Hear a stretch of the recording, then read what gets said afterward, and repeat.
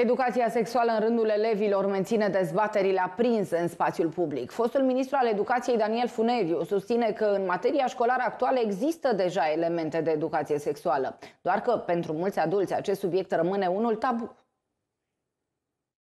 Fostul ministru al educației spune că la ora actuală există o prevedere legală pentru ca educația sexuală să fie predată în școli astăzi avem în textele legale tot ceea ce trebuie pentru o educație sexuală corectă în școală.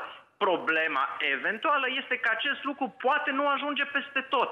Documentul oficial care spune ce trebuie făcut în programă sună așa, citez.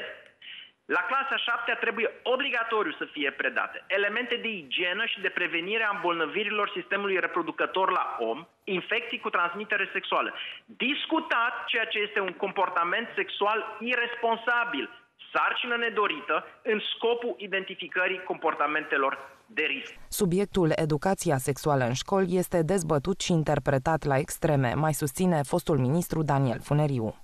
Trebuie să evităm cu orice preț cele două extreme. Extrema hipersexualizării, care adesea e propovăduită agresiv, și extrema celor pentru care sexul e un subiect tabu. Cele două extreme pe care dumneavoastră le-ați menționat trebuie cu orice preț evitate, dar în același timp trebuie să spunem clar că trebuie educație sexuală în școală.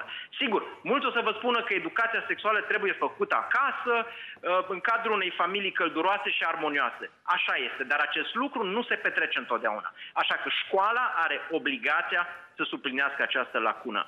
Astăzi avem tot ce trebuie în curriculum și să nu confundăm nevoia de cunoștințe ale copiilor cu uh, faptul că introducem noi materii. Că la, de fiecare dată când apare un nou parlament, le vină sora idei crețe. Hai să introducem, hai să introducem și o să avem copii experți în dezvoltare personală, dar care nu știu tabla mulțidică, nu mai fac suficientă matematică, română, istorie și chestiuni fundamentale.